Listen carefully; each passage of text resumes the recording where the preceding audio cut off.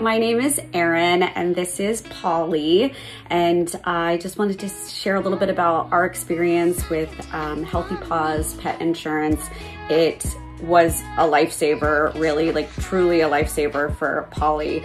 Um, we had no problems at all with Polly for four years when we, after we adopted her from a shelter. And then one day her um, her gums started to bleed and she had some bruises that I noticed on her belly and we took her to the vet and um, they checked her platelet count and it was incredibly low like basically almost no platelets and she was bleeding internally. It was awful and scary and I hope no one ever has to go through that. Um, we took her to the emer emergency vet and found out that she had immune mediated thrombocytopenia, an autoimmune disease, um, and they had to try to uh, basically as quickly as possible help her body stop attacking her blood cells and to build blood cells back. So they did a special treatment where they uh, chemo treatment actually that helps release blood cells from the um, bone marrow and that ended up saving her life but she had to stay in the ICU for a couple of days and obviously like it was nothing we could plan for but it was thousands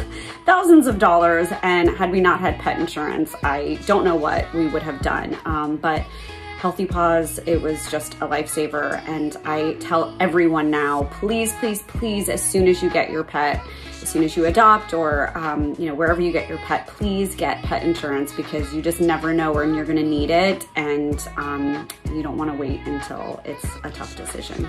Thanks so much.